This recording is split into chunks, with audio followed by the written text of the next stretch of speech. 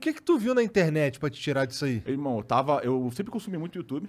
Mas eu- antes disso, eu sempre tive muito, muita conexão com a internet. Eu jogava competitivo quando era, quando era mais Jogava o moleque. quê?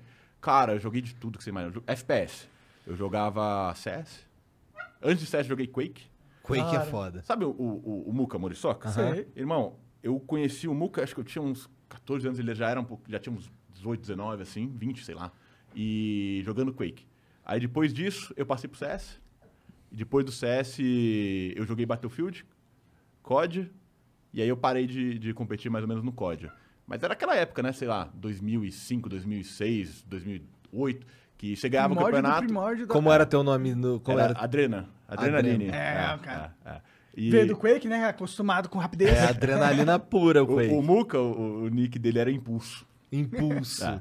E a gente. E aí, assim, no- a gente sempre competiu com, com, com o pessoal ali. Mas naquela época você ganhava um campeonato, você ganhava uma medalhinha PNG pra você imprimir na sua geladeira e falar: Ó, mãe, ganhei. Ganhei. Aqui, ó. Porque para de me xingar que eu tô, não tô estudando. Ó, aqui, ó, mãe, ganhei aqui. Tem os PNG, porra. Aí eu fiz time. Eu cheguei a montar, isso um pouquinho depois, uma org de, de esportes. Tinha time de quase tudo, cara. Sério? É, A gente participou até do, do primeiro CBLOL, Cara, chamava hora. Nex Impetus. Tem uma galera do LoL aí que acho que tá nativa até hoje, que, que deve ter começado a primeira organização profissional comigo e nem sabe.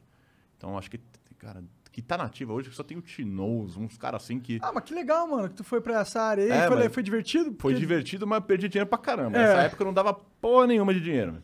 Eu botava do meu bolso, já tinha um empreguinho legal, então eu botava do meu bolso, era uma parada que eu curto.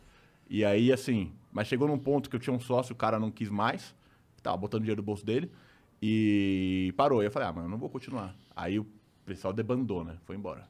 Foi Entendi. embora. Mas eu jogava Battlefield com o Zigueira, conhece o Zig? Sim. Jogava junto com ele, ele era do meu time. Foda. É, os caras pica. é, então, tem uma galera que tava aí no, no, no, no Battlefield que tá até hoje aí fazendo conteúdo.